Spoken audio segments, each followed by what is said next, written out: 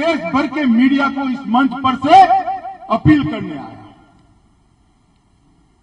Bharatiya Janata party ने समर्थन वापिस लिया। इसमें संतुलित विकास और शांति दोनों महत्वपूर्ण चीज़ें हैं। भारतीय जनता पार्टी की केंद्र सरकार आतंकवाद के खिलाफ ज़रूर ज़ीरो टॉलरेंस की नीति अपना रही है।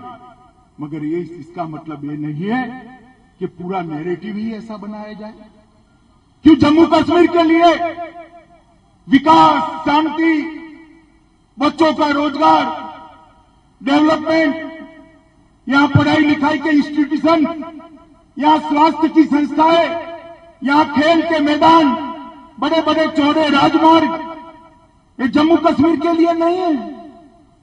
मैं मानता हूँ मित्रों समग्र जम्मू कश्मीर की जनता ने इस राज्यपाल शासन से सबसे पहली अपेक्षा ये रखनी चाहिए कि जम्मू का विकास भारत के बाकी हिस्सों जितना ही हो, हमारा जम्मू कश्मीर एक डेवलप राज्य बनकर आगे आए। और मीडिया के मित्र को भी मैं अपील करना चाहता हूँ कि नेरेटिव को बदलना पड़ेगा जम्मू कश्मीर के अंदर विकास के एजेंडे को सेट करना पड़ेगा। अगर कोई जम्मू कश्मीर की शांति को बिखेरने का प्रयास करता है तो सुरक्षा बल हाथ पर हाथ धरे नहीं बैठे, वो अपना काम करेंगे। उनको अपना काम करने दीजिए।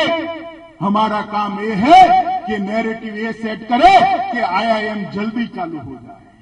तीन मेडिकल कॉलेज जल्दी चालू हो जाए। 2100 करोड़ का रिंग रोड जल्दी चालू हो जाए। 2100 करोड़ के ग्रामीण रस्ते जल्दी बन जाए। 400 करोड़ रुपया के बंकर जल्दी बन जाए। ये सहाय मेरे शरणार्थी भाई है, उनको साढ़े पाँच लाख रुपए की सहाय जल्दी मिल जाए। 2000 करोड़ रुपया जो नरेंद्र मोदी जी ने भेजा है, हर परिवार के साथ तुरंत मिल जाए। ये नैरेटिव सेट करने की ज़रूरत है।